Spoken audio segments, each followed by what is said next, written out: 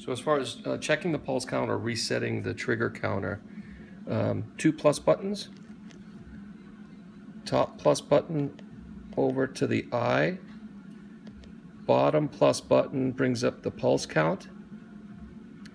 Um, that's the total handpiece pulse count. To reset, bottom plus button highlights the number. The two minus buttons zero it out. And then if you want to hit the bottom minus button, uh, brings you back to uh, main menu. Um, that's it.